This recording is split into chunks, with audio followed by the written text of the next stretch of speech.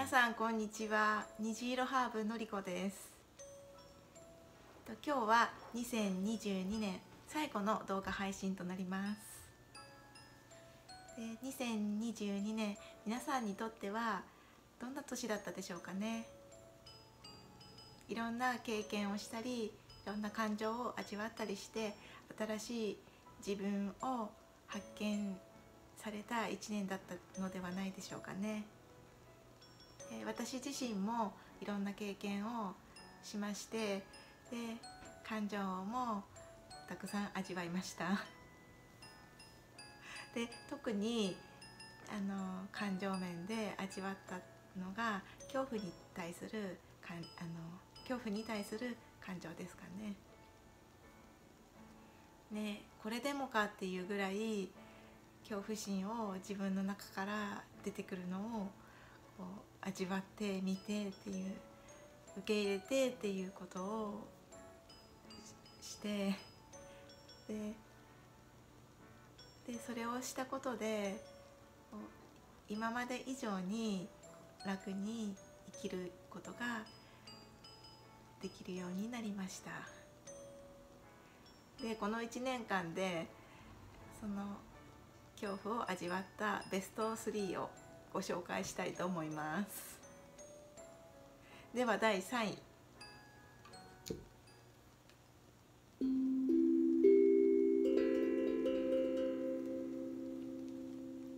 第3位はですね神話ガイドをしたです。で今まで趣味で神社や自然の中を行ってで土地のエネルギーを味わってで楽しんでっていうことを続けてきていたんですけれども今度はこう出雲のに旅行に来てくださった方に神話のスポットをご紹介しながらご案内するっていうお仕事の話をいただいた時にあこれ私絶対やりたいと思ったんですよね。今まで好きでやってきたことが仕事になるって本当にあの私にとっては喜びで幸せでワクワクだったんですよね。でそれと同時に恐怖心っていうのもねこう出てくるわけですよ。仕事を受けてさあ始まるぞってなった時にこう思考がですねあもともとある人が怖いっていうこととか初めて会う人とこうハートを開いて話ができるのかどうかしらどうかとか神話自体私は全くあの知らなかったのでそこを勉強するっていうところも必要だったので知識がないっていう自分に対する恐怖心。っていうのもあの出てきましたね。でもこれってあの勉強すればいい話ですし恐怖心は経験すればなんとかなる話ですしあのこの1年を通してそこのところはあのこうあのなんて言ったらいいんですかね。うんなんとかなんとかできたなっていう感じになりました。では第2位です。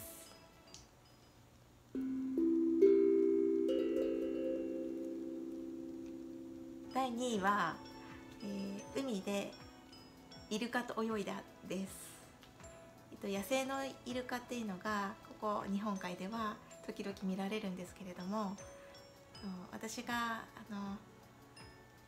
気に入って行ってる海で見ることは初めてでしたで最初沖の方でですねイルカたちがね7頭ぐらいですかね泳いでてで飛んだりこう円になったりとかして遊んでるなっていうのを見ててで楽しそうだなって思ってたらだんだんだんだんこうこっちの岸の方に 近づいてきてくれるわけですよね。でああ私を一緒に泳ぎたいってその時に思ってでそしたらですねあの足元に新品の浮き輪がね流れ着いてきてですね。でそれを思わずかぶってこうイルカさんたちに会いに行ったっていう。でそのイルカさんたちのねその皮膚の状態とかね つつるつるの感じとかこう呼吸とか音鳴き声ですかね、でしぶきがかかったりとかするのもすごく楽しくて。でそれとそれを楽しんだ後こうふと我に返った時に自分がいる海がの色が真っ黒だったんですよね。もうとんでもない深いところに来ていたっていう。であ私泳げなかったんだって思った時に本当に恐怖。あの死んでしまうかもしれないっていうこう浮き輪の空気が抜けてああこのまま私は終わるんだわみたいなそういう恐怖が本当に襲ってきて それと同時にあ大丈夫だから大丈夫だからって自分のことをこう励ましながらこう一生懸命泳いでいったみたいな、はい、そういう経験をしましたね。でこれはあの一般の方にはおすすめできませんし私も無我夢中でやったことなのでとっても危険なことだったので 多分もうあのイルカさんと出会っても見てお話すお話するか見て楽しむっていう感じになるとは思います。では第3あ第1位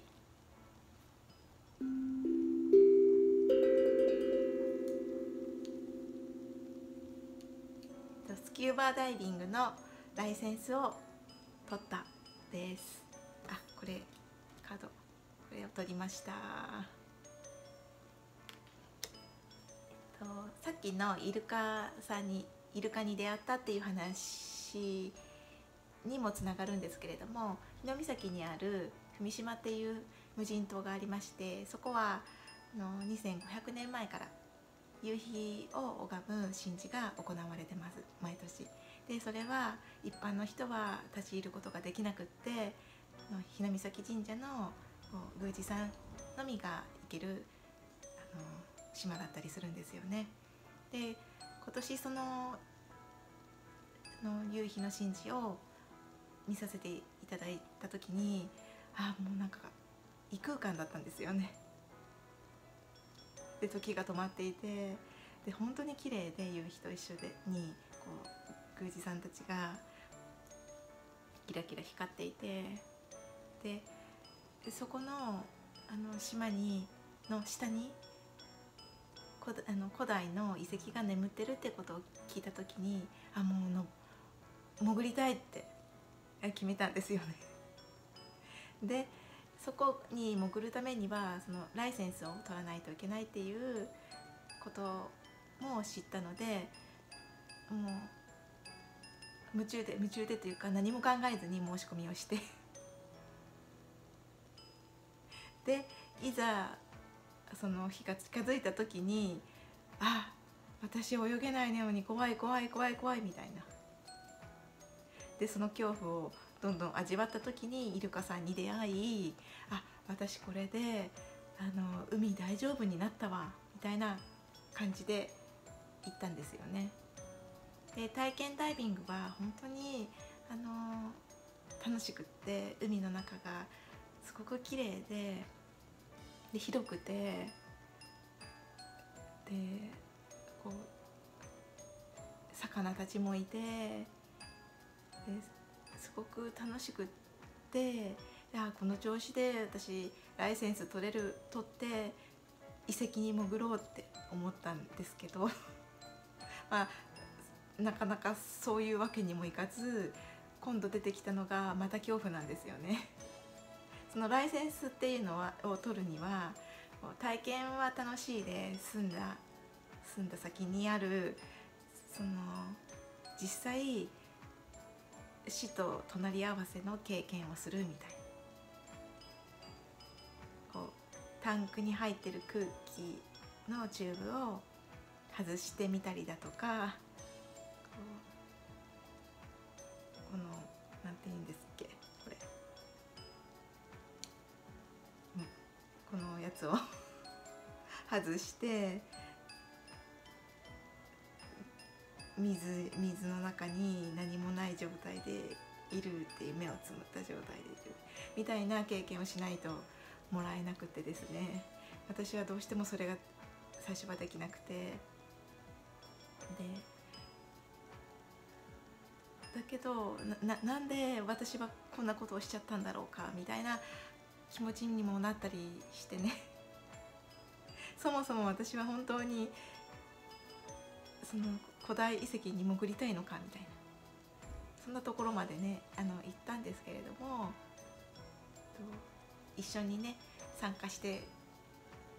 くださった方にも励まされながら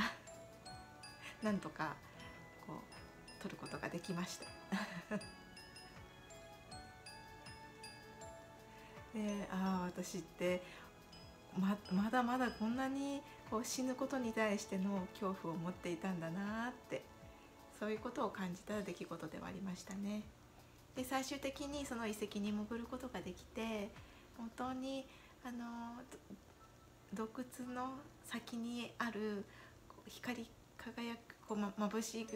眩しすぎる光を感じながら私自身一人で潜ることができなくてですね 洞窟を通ることができなくて引っ張られるようにしながら